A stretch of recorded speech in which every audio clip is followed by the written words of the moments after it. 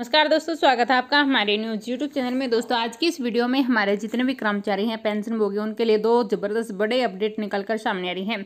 जी हाँ दोस्तों, आज हम आपको इस बताते हैं रिटायरमेंट उम्र और पेंशन को लेकर ज़बरदस्त इजाफा होने वाला है। तो जुड़े रहिए दोस्तों हमारे साथ इस वीडियो के लास्ट तक। अगर आपने हमारे चैनल पर फ़र्स्ट टाइम विज़िट किया तो चैनल को सब्सक्राइब करने भूलें।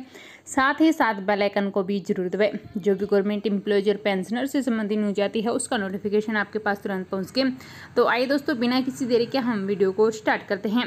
कर्मचारी की रिटायरमेंट उम्र में बढ़ोतरी पेंशन में होगा, तगड़ा इजाफा। जी हाँ दोस्तों, इसमें बताया जा रहा है कि पीएम मोदी ने इन दिनों कर्मचारी पर काफ़ी मेहरबान नज़र आ रहे हैं। पीएम मोदी की आर्थिक सलाहकार समिति ने पीएम को सलाह देते हुए देश के कर्मचारी की रिटायरमेंट उम्र को बढ़ोतरी करने की सलाह दी है।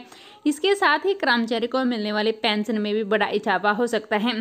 तो दोस्तों, इसमें बताया जा रहा है कि सरकारी कर्मचारियों की जल्द ही बड़ी खुशखबरी मिलने वाली है। प्रधानमंत्री की आर्थिक सलाहकार समिति की ओर से एक सुझाव जारी किया गया है। जिसमें कहा गया है कि दोस्तों, देश में लोगों की जो काम करने की उम्र सीमा बढ़ाई जानी चाहिए। इसके साथ ही पी की जो आर्थिक सलाहकार समिति ने कहा है कि देश में रिटायरमेंट की उम्र बढ़ाने के साथ ही यूनिवर्सल पेंशन सिस्टम भी शुरू किया जाना चाहिए। और इसके लिए जो समिति ने अपना जो प्रस्ताव है, वो भेज दिया गया है। सीनियर सिटीजन की सुरक्षा। जी हाँ दोस्तों, इसमें रिपोर्ट के अनुसार हम आपको बताते हैं कि सुझाव के तहत कर्मचारी को हर महीने कम से कम दो हज़ार रुपये तक का पेंशन दिया जाना चाहिए। आर्थिक सलाहकार समिति ने देश में सीनियर सिटीजन की सुरक्षा के लिए बेहतर व्यवस्था करने की सिफारिश की है। स्किल डेवलपमेंट भी ज़रूरी है। रिपोर्ट के अनुसार बताया जा रहा है कि दोस्तों, अगर कामकाज उम्र की बढ़ोतरी को बढ़ाना है तो इसके लिए सेवानिवृत्ति की उम्र को बढ़ाने की सख्त ज़रूरत है। सामाजिक सुरक्षा प्रणाली पर दबाव को कम करने के लिए ऐसा किया जा सकता है। रिपोर्ट पचास साल से ऊपर के व्यक्तियों के लिए जो स्किल डेवलपमेंट की बात कही गई है। इसके साथ ही जो सरकार ने ऐसी नीतियाँ बनाई हैं, केंद्र और राज्य सरकार दोनों ने मिल के एक ऐसी नीतियाँ बनाई है जिससे कौशल विकास किया जा सके।